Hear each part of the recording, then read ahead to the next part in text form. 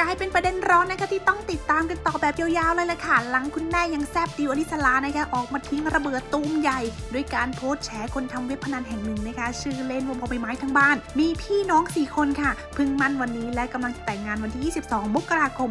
2566 พร้อมฟาดไม่ยั้งนะคะฝากตำรวจต้องจัดการค่ะ โดยจุดเริ่มต้นนะคะความเดือดเกิดจากโพสต์ที่เธอนะคะได้ออกมาแฉแรงว่าอะบ้านทำเว็บพนันใหญ่ชื่อจุดจุดจุดจุดมีพี่น้อง 4 คน ผู้ชายหมด ชื่อเล่นบอใบไม้ทั้งบ้าน น้องชื่อจุดจุดจุดเพิ่งมั่นวันนี้กำลังจะแต่งงานวันที่ 22 มกราคม ที่จะถึงคาดว่าวงการเว็บพนันออนไลน์ น่าจะไปร่วมงานแต่งทั่วหน้า และมีคนชื่อเสียงร่วมงานเยอะ สายสืบตำรวจใดๆนะคะทำงานด้วยครับ มีข้อมูลอยู่แล้ว อยากรวบใครรวบเลย ฝากนักสืบและผู้มีประสบการณ์ทำงานด้วยค่ะปอลอไม่ผิดที่จะมีความรัก และแต่งงานแต่ผิดที่ทำธุรกิจสกปรกไม่ขาวผิดกฎหมาย และกล้าจัดงานใหญ่โตในขณะที่คนอื่นโดนจับกันโชว์ความรวยที่ได้มาจากเว็บพนันที่หลอกเงินคนไทยฮู้ฮู้แฮชแท็กตำรวจไทยเก่งที่สุดแฮชแท็กทำคดีอื่นแล้วฝากคดีนี้ด้วยค่ะพี่ตำรวจ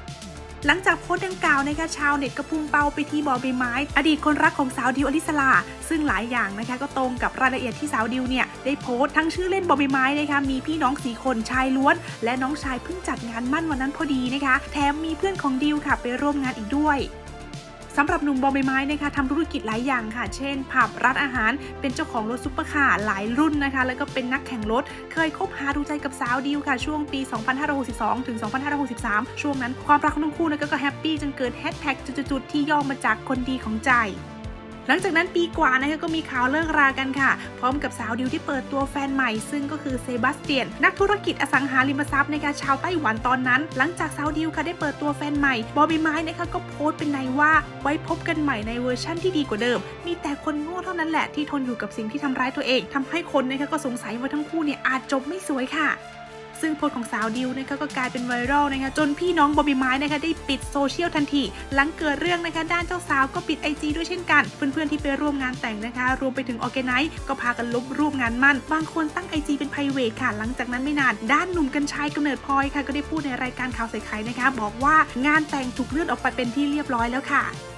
ทั้งนี้นะคะด้านโฆษกตำรวจนะคะก็ได้ออกมายอมรับว่าเรื่องเว็บพนันนะคะ เจ้านี้ตำรวจมีข้อมูลอยู่แล้ว และก็อยู่ระหว่างตรวจสอบขยายผลเพื่อหาเบาะแสเพิ่มเติม แต่ยังไม่ยืนยันว่าเกี่ยวข้องกับคนที่สาวดิวนะคะชี้เป้าหรือไม่